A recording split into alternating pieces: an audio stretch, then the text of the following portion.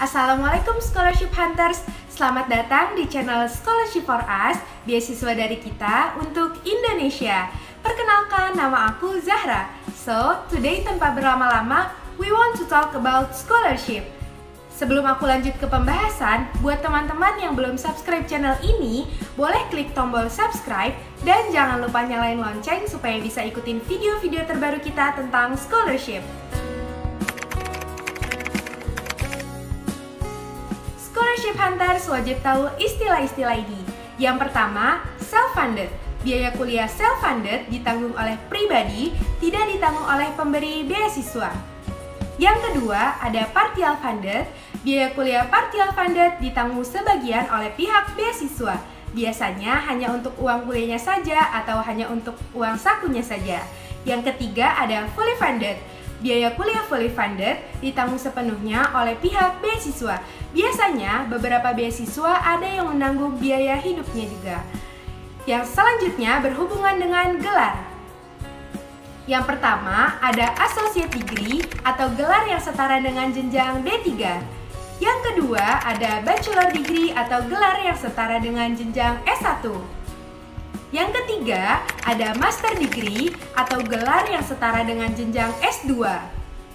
Yang keempat, ada Doctoral Degree atau gelar yang setara dengan jenjang S3.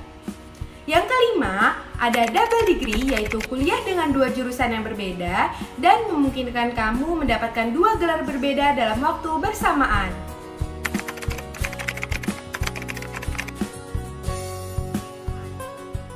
Nah, Scholarship Hunters ada beberapa dokumen yang harus kamu siapkan saat kamu mendaftarkan beasiswa. Yang pertama, tanda pengenal.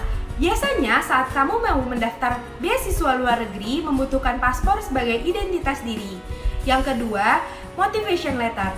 Motivation letter adalah sebuah esai yang berisi tentang diri kamu, siapa kamu, tujuan hidup kamu, potensi apa yang kamu miliki, latar belakang pendidikan, dan alasan mengapa kamu berhak mendapatkan beasiswa yang kamu daftarkan.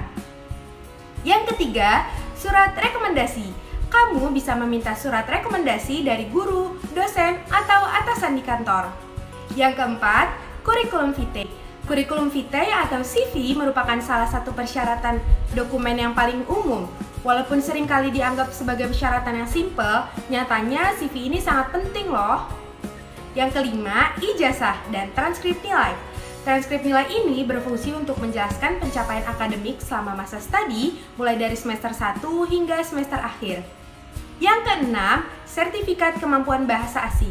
Sertifikat kemampuan berbahasa merupakan persyaratan yang cukup penting untuk mendaftar beasiswa ke luar negeri. Banyak beasiswa luar negeri yang menjadikan sertifikat bahasa ini sebagai persyaratan khusus yang memiliki nilai plus dalam aplikasi data pendaftaran kamu.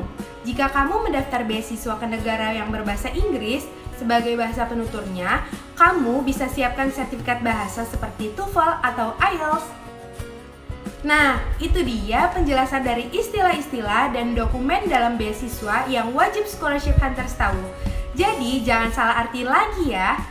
Mungkin itu aja penjelasan kali ini, semoga bermanfaat dan membantu teman-teman dalam mempersiapkan diri untuk pendaftar beasiswa. Buat teman-teman, jangan lupa di like, komen, di kolom komentar ya. Untuk informasi dengan segala sesuatu yang berkaitan dengan beasiswa, kamu bisa cek dan follow sosial media at Scholarship for Us, beasiswa untuk kita, dari kita untuk Indonesia. Dadah!